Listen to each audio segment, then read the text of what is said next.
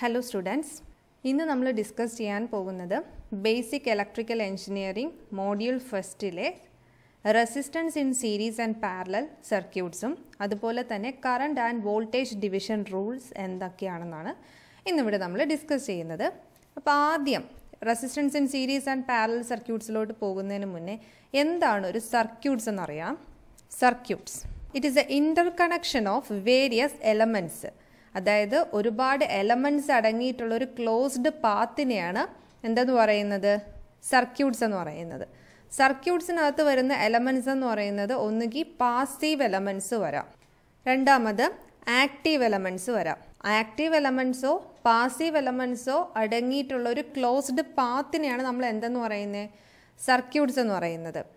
എന്താണ് ഒരു passive elements അല്ലെങ്കിൽ ഒരു പാസീവ് കമ്പോണൻസ് എന്താണെന്ന് നോക്കാം. ഓക്കെ പാസീവ് എലമെന്റ്സ് എന്ന് പറയുന്നത് എന്താണ്? എനർജി ഒരു എക്സ്റ്റേണൽ സോഴ്സിൽ നിന്ന് ഒരു എനർജി അത് റിസീവ് ചെയ്യുകയാണ് ചെയ്യുന്നത്. അതിന് സ്വന്തമായിട്ട് എനർജി ജനറേറ്റ് ചെയ്യാനുള്ള ഒരു കപ്പാസിറ്റി ഇല്ല. അങ്ങനെ ആയിട്ടുള്ള ഒരു എലമെന്റ്സിനെയാണ് നമ്മൾ പാസീവ് എലമെന്റ്സ് എന്ന് പറയുന്നത്. എക്സാമ്പിൾ എന്താണ് passive എലമെന്റ്സിന്റെ resistors capacitors inductors okay passive elements are those that can accept energy from an external source ഒരു എക്സ്റ്റേണൽ സോഴ്സിൽ നിന്ന് അതിന് എനർജി അക്സെപ്റ്റ് ചെയ്യാൻ പറ്റും. പക്ഷെ ഒരിക്കലും അതിന് എനർജി സ്വന്തമായിട്ട് ജനറേറ്റ് ചെയ്യാൻ പറ്റില്ല. അങ്ങനെയുള്ള എലമെന്റ്സിനെയാണ് നമ്മൾ എന്തെന്ന് പറയുന്നത്? പാസീവ് എലമെന്റ്സ് അതിന് ഉദാഹരണം എന്തൊക്കെയാണ്? റെസിസ്റ്റേഴ്സ് കപ്പാസിറ്റേഴ്സ് ഇൻഡക്ടേഴ്സ് ഇനി അടുത്ത എന്താണ് ആക്റ്റീവ് എലമെന്റ്സ് എന്ന് നോക്കാം.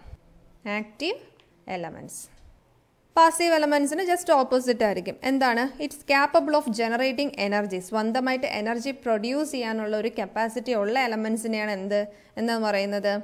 ആക്റ്റീവ് എലമെൻസ് എന്ന് പറയുന്നത്. Active elements are those that may or may not accept energy from an external source അതിന് എക്സ്റ്റേണൽ സോഴ്സ് ചിലപ്പോൾ എക്സ്റ്റേണൽ സോഴ്സിൽ നിന്ന് എനർജി അക്സെപ്റ്റ് ചെയ്യാം. പക്ഷേ അതിന് സ്വന്തമായിട്ട് എനർജി ഡെവലപ്പ് അല്ലെങ്കിൽ ജനറേറ്റ് ചെയ്യാനുള്ള ഒരു എബിലിറ്റി കൂടെ ഉണ്ട് ആക്റ്റീവ് എലമെൻസിന് ഓക്കെ. അതിന് ഉദാഹരണങ്ങൾ എന്തൊക്കെയാണെന്ന് നോക്കാം. ഡയോഡ് ട്രാൻസിസ്റ്റർ ഐ സി അതായത് ഇന്റഗ്രേറ്റഡ് സർക്യൂട്ട്സ് ബാറ്ററി സോഴ്സ് എടുക്കാം. അതുപോലെ ജനറേറ്റർ ഓക്കെ. അപ്പോൾ എന്താണ് ഒരു ആക്റ്റീവ് ആൻഡ് പാസീവ് എലമെന്റ്സ് എന്നുള്ള ഒരു കൺസെപ്റ്റ് മനസ്സിലായെന്ന് വിചാരിക്കുന്നു. ഇനി നമുക്ക് സർക്യൂട്ട്സിനെ നമുക്ക് രണ്ടായിട്ട് ക്ലാസിഫൈ ചെയ്യാം.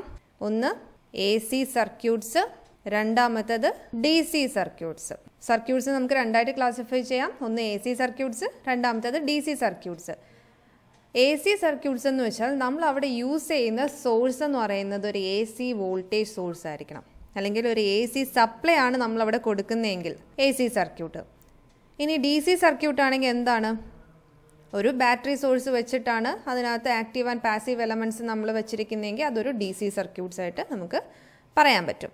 ഇനി നമ്മൾ ഫസ്റ്റ് മോഡ്യൂളിൽ ഡിസ്കസ് ചെയ്യുന്നത് ഡി സി സർക്യൂട്ട്സിനെ പറ്റിയാണ്. അതിൽ ആദ്യത്തേത് എന്താന്ന് വെച്ചാൽ D C series circuit എന്താന്നുള്ളതാണ്. Okay D C series circuit ഇവിടെ നമുക്ക് മൂന്ന് റെസിസ്റ്റൻസ് കാണാം. അല്ലേ? R one R two R three ഈ മൂന്ന് റെസിസ്റ്റേഴ്സും എങ്ങനെയാണ് കണക്ട് ചെയ്തേക്കുന്നത്? ഫസ്റ്റ് റെസിസ്റ്റൻസിന്റെ ഒരു എൻഡ് എന്ന് പറയുന്നത് സെക്കൻഡ് റെസിസ്റ്റൻസിന്റെ അടുത്ത എൻഡുമായിട്ടാണ് കണക്ട് ചെയ്തേക്കുന്നത് അല്ലേ? അതായത് ഇവിടെ റെസിസ്റ്റൻസ് മൂന്ന് റെസിസ്റ്റൻസും എങ്ങനെയാണ് കണക്ട് ചെയ്തേക്കുന്നത് എൻഡ് ടു എൻഡ് കണക്ഷൻസ് ആണ്. ഓക്കെ ഒരു സീരീസ് സർക്യൂട്ടിൽ ഓരോ റെസിസ്റ്റേഴ്സും കണക്ട് ചെയ്തേക്കുന്നത് എൻഡ് ടു എൻഡ് കണക്ഷൻ ആണ്. അത് കാരണം എന്താ സംഭവിക്കുന്നത് ഇവിടെ? കറണ്ടിന് പോകാനായിട്ട് ഒരേ ഒരു പാത്ത് ഇവിടെ ഉള്ളൂ. കാരണം എൻഡ് ടു എൻഡ് കണക്ഷൻസ് ആണ് വേറെ പാത്തില്ല കറണ്ടിന് പോകാനായിട്ട് ഈ ഒരു പാത്ത് മാത്രമേ ഇവിടെ ഉള്ളൂ. ഇനി three be the voltages across the resistance R one R two and R three okay ഇവിടെ R one R two R three എന്ന് പറയുന്ന മൂന്ന് റെസിസ്റ്റേഴ്സ് ഉണ്ട്. ഇത് സീരീസ് ആയിട്ടാണ് കണക്ട് ചെയ്തേക്കുന്നത്. ഇനി ആർ വൺ എന്ന് പറയുന്ന റെസിസ്റ്റൻസിന് അക്രോസ് ആയിട്ട് വരുന്ന വോൾട്ടേജ് എന്ന് പറയുന്ന വി വൺ ആർ ടു എന്ന് പറയുന്ന റെസിസ്റ്റൻസിന് അക്രോസ് ഡെവലപ്പ് ചെയ്യുന്ന വോൾട്ടേജ് വി ടു ആർ ത്രീക്ക് അക്രോസ് ആണെങ്കിൽ V three voltage net voltage എന്ന് പറയുന്നത് എന്താണ്? വി ആണ്. ഇനി നമുക്കറിയാം നമ്മൾ ഓംസ് ലോയിൽ പഠിച്ചിട്ടുണ്ട്. വി ഈക്വൽ ടു എന്താണ്? ഐ ഇന്റു ആർ ആണ് അല്ലേ? ഇനി let V one V two V three be the voltages across ഏതൊക്കെയാണ്? R one comma R two comma R three total voltage V എന്ന് പറയുന്നത് ഈ മൂന്ന് വോൾട്ടേജസിന്റെയും സമ്മേഷനാണ് അല്ലേ? നെറ്റ് വോൾട്ടേജ് അല്ലെങ്കിൽ total voltage V equal to V one plus V two plus V three വിനെ നമുക്ക് ഐ ആറിന്റെ ടേംസിൽ എഴുതാമല്ലോ അപ്പോൾ എങ്ങനെ എഴുതാം? I into R equal to V one നമുക്ക് എങ്ങനെ എഴുതാം? കറണ്ടിന് ഒരു സിംഗിൾ പാത്തല്ലേ ഉള്ളൂ എന്ന് പറഞ്ഞു. കറണ്ട് ഇവിടെ സ്പ്ലിറ്റ് ആകുന്നില്ല. അപ്പോൾ ആ കറണ്ട് ഐ ഇന്റു ഏത് ഈ വി വൺ എന്ന് പറയുന്നത് ഏത് റെസിസ്റ്റൻസിന് അക്രോസ് ഉള്ള വോൾട്ടേജ് ആണ്? R one I into R one plus again V two voltage develop ചെയ്യുന്നത് ഏത് റെസിസ്റ്റൻസിന് അക്രോസ് ആണ്? R two I into R two plus I into R ത്രീക്ക് across ഉള്ള വോൾട്ടേജ് അല്ലേ വി ത്രീ അപ്പോൾ ഐ ഇന്റു ആർ ത്രീ നമുക്ക് എഴുതാമല്ലോ ഇതിൽ നിന്നും I into R equal to I എനിക്ക് ഈ ഒരു ടേംസിൽ നിന്ന് കോമൺ ആയിട്ട് എടുക്കാമല്ലോ I into R one plus R two plus R three എന്ന് എഴുതാം. ഈ ഐയും ഈ ഐയും ക്യാൻസൽ ആവും. അപ്പോൾ ആർ ടോട്ടൽ അല്ലെങ്കിൽ നെറ്റ് റെസിസ്റ്റൻസ് ആർ എന്ന് പറയുന്നത് എനിക്ക് എങ്ങനെ എഴുതാം? R one plus R two plus R three എന്ന് എഴുതാമല്ലോ അപ്പോൾ ഒരു ഡി സി സീരീസ് സർക്യൂട്ടിൽ നമ്മളൊരു വോൾട്ടേജ് സോഴ്സ് ബാറ്ററി സോഴ്സ് ഉപയോഗിക്കുന്ന കൊടുക്കുമ്പോഴത്തേക്കും ഇവിടെ എൻഡ് ടു എൻഡ് കണക്ഷൻസ് ആയിട്ടാണ് ഓരോ റെസിസ്റ്റേഴ്സും കൊടുത്തേക്കുന്നത്. അത് കാരണം കറണ്ടിന് ഫ്ലോ ചെയ്യാൻ ഒരു സിംഗിൾ പാത്ത് മാത്രമേ ഉള്ളൂ. സീരീസ് കണക്ഷൻ വരുമ്പോഴത്തേക്കും അവിടുത്തെ കറണ്ട് സെയിമും വോൾട്ടേജ് വിൽ ബി ഡിഫറെന്റ് ആയിരിക്കും. അപ്പോൾ ആർ വൺ എന്ന് പറയുന്ന റെസിസ്റ്റൻസിന് അക്രോസ് ഡെവലപ്പ് ചെയ്യുന്ന വോൾട്ടേജ് വി വൺ ആർ ടുവിന് അക്രോസ് ഡെവലപ്പ് ചെയ്യുന്ന വോൾട്ടേജ് വി ടു ആർ ത്രീക്ക് അക്രോസ് വി ത്രീ ആണ്. അപ്പോൾ നമുക്ക് ഓംസ് ലോ നമ്മൾ പഠിച്ചു. V equal to I R ആണെന്ന് അറിയാം.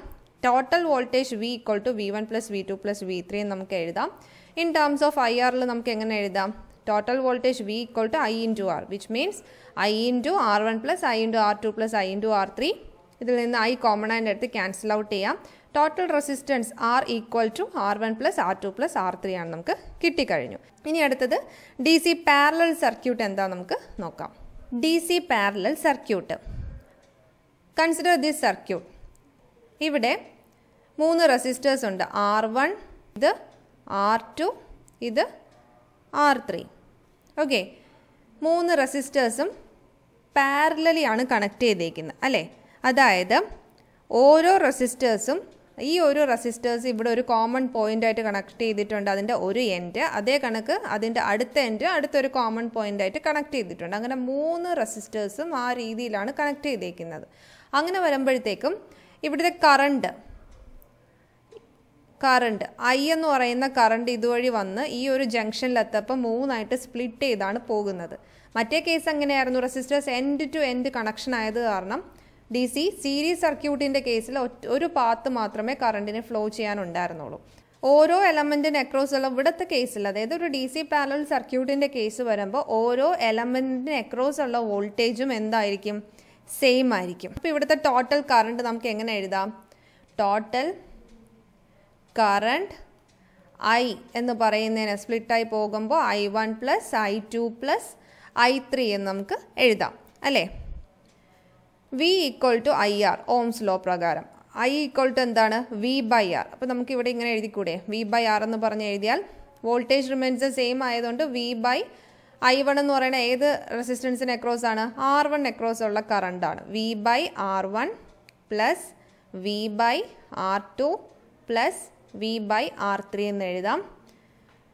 ഇനി ഇതിൽ നിന്ന് കോമൺ ആയിട്ട് ഏതെടുക്കാം? വി എടുക്കാം. അല്ലേ? V by R equal to V into ഇങ്ങനെ എഴുതാം. One by R one plus one by R two plus one by R three എന്ന് നമുക്ക് എഴുതാം. വിയും വിയും ക്യാൻസൽ ഔട്ട് ആകും. One by R equal to എങ്ങനെ എഴുതാം? One by R one plus one by R two plus one by R three എന്ന് നമുക്ക് എഴുതാം. അപ്പോൾ ഒരു പാരലൽ സർക്യൂട്ടിന്റെ കേസ് വരുമ്പോൾ അവിടുത്തെ വോൾട്ടേജർ സെയിം ആയിരിക്കും. കറണ്ട് എന്താകും? ഡിഫറെന്റ് ആയിരിക്കും. Reciprocal of the total resistance is equal to the sum of the reciprocals of individual resistances ഇതാണ് നമ്മൾ ഡി സി പാരലൽ സർക്യൂട്ടിൽ നിന്ന് മനസ്സിലാക്കുന്ന ഒരു കാര്യം. ഒരു ക്വസ്റ്റ്യൻ നോക്കാം. Find the equivalent resistance in the given parallel circuit അതായത് ഇതൊരു പാരലൽ സർക്യൂട്ടാണ് ഇതിന് അക്രോസ് ഒരു വോൾട്ടേജ് വി ഉണ്ട്. മൂന്ന് റെസിസ്റ്റേഴ്സ് ഉണ്ട്. One ohm two ohm one three ohm ഇതിന് അക്രോസ് ഉള്ള equivalent resistance total equivalent resistance എന്താണെന്ന് കണ്ടുപിടിക്കുക അപ്പോൾ നമ്മൾ ഡി സി പാരലൽ സർക്യൂട്ടിന്റെ കേസ് വെച്ചിട്ട് one by R equal to one by R one plus one by R two plus one by R three എന്ന് നമ്മൾ എഴുതിയായിരുന്നു അല്ലേ? ഇനി വാല്യൂസ് സബ്സ്റ്റിറ്റ്യൂട്ട് ചെയ്യാം. Which is equal to one by one plus one by two plus one by three L C M നോക്കുക L C M എന്താണ് ഇതിൽ six ആണല്ലേ സിക്സ് എൽ സി എം ഇതിൽ എത്ര time six plus ഇതിലാണെങ്കിലോ? Three plus two it is equal to eleven by six എന്ന് എഴുതാം. One by R equal to eleven by six അല്ലേ? Therefore R equal to എങ്ങനെ എഴുതാം? Six by eleven എന്ന് എഴുതിക്കൂടെ? Six by ഇലവന്റെ value point five four five ohm റെസിസ്റ്റൻസിന്റെ unit ohm ആയതുകൊണ്ട് point five four five ohm ഒരു parallel സർക്യൂട്ടിന്റെ case ആണെങ്കിൽ നമുക്ക് കിട്ടിയ ഇക്വലൻ റെസിസ്റ്റൻസിന്റെ വാല്യൂ എന്ന് പറയുന്നത് നമ്മുടെ ക്വസ്റ്റ്യനിൽ തന്നേക്കുന്ന ഏറ്റവും ചെറിയ റെസിസ്റ്റൻസിന്റെ വാല്യൂ ഉണ്ടല്ലോ. അതിനെക്കാട്ടിയും ചെറുതായിരിക്കും. ഇവിടെ ഏറ്റവും ചെറിയ റെസിസ്റ്റൻസ് ഏതായിരുന്നു? വൺ ഓം ആണ്. നമുക്ക് കിട്ടിയ ആൻസർ എന്താണ്? പോയിന്റ് ഫൈവ് ഫോർ ഫൈവ് അതെന്ന് പറയുന്നത് ലെസ് ദാൻ വൺ ഓം അല്ലേ? അതാണ് ആ ഒരു കൺസെപ്റ്റ് നിങ്ങൾക്ക് മനസ്സിലാക്കുക ഇല്ല അല്ലെങ്കിൽ നമ്മുടെ കയ്യിലൊരു പാരലൽ സർക്യൂട്ട് തന്നിട്ട് അതിന്റെ ഇക്വലൻ റെസിസ്റ്റൻസ് കണ്ടുപിടിക്കാൻ പറഞ്ഞാൽ നമുക്ക് കിട്ടുന്ന ആൻസർ എന്ന് പറയുന്ന ആ ക്വസ്റ്റിൽ തന്നേക്കുന്ന ഏറ്റവും ചെറിയ റെസിസ്റ്റൻസിന്റെ വാല്യൂവിനെയും കാട്ടിയും ചെറുതായിരിക്കും. Okay H division rule series സർക്യൂട്ടിലാണ് applicable ആയിട്ടുള്ളത്. അതിന്റെ റീസൺ എന്താണെന്ന് വെച്ചാൽ ഒരു സീരീസ് സർക്യൂട്ടിൽ അതിന്റെ വോൾട്ടേജ് ഡിഫറെന്റ് ആയിരിക്കും കറണ്ട് സെയിം ആയിരിക്കും എന്നുള്ളത് കൊണ്ടാണ് വോൾട്ടേജ് ഡിവിഷൻ റൂൾ ആപ്ലിക്കബിൾ ആയിട്ടുള്ളത് സീരീസ് സർക്യൂട്ട് എന്ന് പറയുന്നത്. ഇവിടെ രണ്ട് റെസിസ്റ്റൻസസ് ഉണ്ട്. ഏതൊക്കെയാണ്? ആർ വണ്ണും ആർ ടു കറണ്ട് ഐ ആണ്. കറണ്ടിന് ഒരു സിംഗിൾ പാത്ത് ആയതുകൊണ്ട് കറണ്ടിന് ഇവിടെ പ്രശ്നം പറ്റത്തില്ല. ഇവിടെ വേരിയേഷൻ വരുന്ന എന്താണ്? വോൾട്ടേജ് ആണ്. അല്ലേ? നമ്മളത് ഡി സി സീരീസ് സർക്യൂട്ട്സിന്റെ കേസിൽ പറഞ്ഞായിരുന്നു. അപ്പോൾ നമുക്ക് ഓംസ് ലോ പ്രകാരം V equal to I R എന്ന് പറയാമല്ലോ അതേ കണക്ക് ഇവിടെ വി വൺ എന്ന് പറയുന്നത് ഈ റെസിസ്റ്റൻസ് ആർ വൺ അക്രോസ് ഉള്ള വോൾട്ടേജ് ആണ് V one V one equal to total current into ആ ഏത് റെസിസ്റ്റൻസിന് അക്രോസ് ഉള്ള വോൾട്ടേജ് ആണെന്ന് വെച്ചാൽ ആ റെസിസ്റ്റൻസ് എഴുതുക. ഓക്കെ അപ്പോൾ വോൾട്ടേജ് ഡിവിഷൻ റൂളിൽ നമ്മൾ വി വൺ എന്ന് പറയുന്നത് ആർ വൺ എക്രോസ് ഉള്ള ആർ വൺ റെസിസ്റ്റൻസിന് എക്രോസ് ഉള്ള voltage V one equal to in terms of I and R നമുക്ക് എങ്ങനെ എഴുതാം? I into R one current same ആയതുകൊണ്ടാണ് ഐ എന്ന് നമ്മളിവിടെ കൊടുത്തേക്കുന്നത്. അപ്പോൾ വോൾട്ടേജ് ഡിവിഷൻ റൂൾ എന്ന് പറയുമ്പോഴത്തേക്കും മൊത്തം ടേംസ് നമുക്ക് വോൾട്ടേജിന്റെ ഇതിലാണ് എഴുതേണ്ടത്. V equal to I R ആണെന്ന് നമുക്കറിയാം ഓംസ് ലോ പ്രകാരം. അപ്പോൾ ഐ ഈക്വൾ ടു എങ്ങനെ എഴുതാം? വി ബൈ ആർ അപ്പോൾ ഇവിടെ എഗെയിൻ ഐന് സബ്സ്റ്റിറ്റ്യൂട്ട് ചെയ്യാമല്ലോ വി ബൈ ആർ എന്ന് പറഞ്ഞ് നമുക്ക് കൊടുക്കാം. Into R one V one equal to V by R into R one V one എന്ന് പറയുന്ന വോൾട്ടേജ് എന്ന് പറയുന്നത് എന്താണ്? Total voltage divided by total resistance into V one across ഉള്ള resistance R one okay into R one കൊടുക്കാം. അപ്പോൾ നമുക്ക് V two എങ്ങനെ എഴുതാം? V two equal to total voltage total voltage divided by total resistance into R two നമുക്ക് എഴുതാൻ പറ്റും. ഇപ്പോൾ വോൾട്ടേജ് ഡിവിഷൻ റൂൾ നമ്മൾ പഠിച്ചു. വോൾട്ടേജ് ഡിവിഷൻ റൂൾ സീരീസ് സർക്യൂട്ടിലാണ് ആപ്ലിക്കബിൾ ആയിട്ടുള്ളത്. V one equal to total voltage divided by total resistance into ഈ ബ്രാഞ്ചിലെ റെസിസ്റ്റൻസ് അല്ലേ? ആർ വൺ അടുത്ത വി ടു ആണെങ്കിൽ total voltage by total resistance into V two ഏത് നെക്രോസ് ഉള്ളതാണ്? ആർ ടു നെക്രോസ് ഉള്ളതല്ലേ? ഇന്റു ആ ബ്രാഞ്ചിലെ റെസിസ്റ്റൻസ് ആർ ടു ഇവിടെ ടോട്ടൽ റെസിസ്റ്റൻസ് ആർ എന്താണ്? സീരീസ് ആവുമ്പോൾ R one plus R two ഇനി അടുത്ത് നമുക്ക് കറണ്ട് ഡിവിഷൻ റൂൾ എന്താണെന്ന് നോക്കാം. അടുത്തത് കറണ്ട് ഡിവിഷൻ റൂളാണ് ഒരു പാരലൽ സർക്യൂട്ട് ആണെങ്കിൽ അവിടുത്തെ വോൾട്ടേജ് സെയിമും കറണ്ട് ഡിഫറെന്റ് ആണെന്നും അറിയാം. അല്ലേ? അപ്പോൾ ഈ കറണ്ട് ഡിവിഷൻ റൂൾ ആപ്ലിക്കബിൾ ആയിട്ടുള്ളത് ഏത് കേസാണ് ഒരു പാരലൽ സർക്യൂട്ടാണ് അതിന്റെ റീസൺ എന്താണ്? അവിടുത്തെ വോൾട്ടേജ് സെയിമും കറണ്ട് എന്ന് പറയുന്നത് ഡിഫറെന്റ് ആണ്. അപ്പോൾ നമ്മൾ ഓംസ് ലോയിൽ പഠിച്ചത് എന്താണ്? V equal to I into R അല്ലേ? അത് ഇക്വേഷൻ നമ്പർ ഓംസ് ലോ പ്രകാരം voltage equal to current into resistance ആണ് നമ്മൾ പഠിച്ചു. അത് ഇക്വേഷൻ നമ്പർ വൺ ആയിട്ട് എടുക്കാം. ഇനി ഒരു പാരലൽ സർക്യൂട്ടിന്റെ കേസ് എടുക്കുകയാണെങ്കിൽ അവിടുത്തെ ആർ ടോട്ടൽ അല്ലെങ്കിൽ നെറ്റ് റെസിസ്റ്റൻസ് എന്ന് പറയുന്നത് എന്താണ്? R one R two by R one plus R two. ഇതെങ്ങനെ കിട്ടിയതാണ്? നമുക്കറിയാം one by R equal to one by R one plus one by R two ആണ്. ഇതിന്റെ റെസിപ്രോക്കൽ ആർ എടുക്കുമ്പോഴത്തേക്ക് നമുക്ക് എങ്ങനെ കിട്ടും? R one R two by R one plus R two. അങ്ങനെയാണ് ഇതിവിടെ കിട്ടിയിരിക്കുന്നത്. ഇതിനെ നമുക്ക് ഇക്വേഷൻ നമ്പർ ടു ആയിട്ട് എടുക്കാം. ഇനി നമുക്കറിയാം ഐ വൺ എന്ന് പറയണത് എന്താണ്? ടോട്ടൽ വോൾട്ടേജ് ബൈ ഈ ഐ വൺ ഫ്ലോ ചെയ്യുന്ന ഏത് റെസിസ്റ്റൻസിലാണ് ആ ആ റെസിസ്റ്റൻസ് ആർ വൺ അതുപോലെ ഐ ടു എന്ന് പറയുന്നത് V divided by R two ആണെന്നും നമുക്കറിയാം അല്ലേ? അടുത്ത നമുക്ക് ഫസ്റ്റ് ഇക്വേഷനെ ഇൻ ടേംസ് ഓഫ് ഐയിൽ എങ്ങനെ എഴുതാം? ഐ ഈക്വൽ ടു എങ്ങനെ എഴുതാം? വി ബൈ ആർ എന്ന് എഴുതാം അല്ലേ? അതിന് നമുക്ക് ഒരു തേർഡ് ഇക്വേഷനായിട്ട് കൊടുക്കാം. എന്നിട്ട് ഇവിടെ ആറിന്റെ വാല്യൂ ഇവിടെ കിട്ടിയ ആറിന്റെ വാല്യൂ സെക്കൻഡ് ഇക്വേഷൻ സബ്സ്റ്റിറ്റ്യൂട്ട് ചെയ്യാം. That is I equal to V divided by R എന്താണ്? R one R two by R total R one R two by R one plus R two ആണെന്ന് substitute ചെയ്യാം. ഇനി എനിക്ക് V equal to I one R one എന്നും അതേ കണക്ക് V equal to I two R two ആണെന്നും എഴുതാമല്ലോ അത് ഇക്വേഷൻ നമ്പർ ഫോർ ആയിട്ട് കൊടുക്കാം.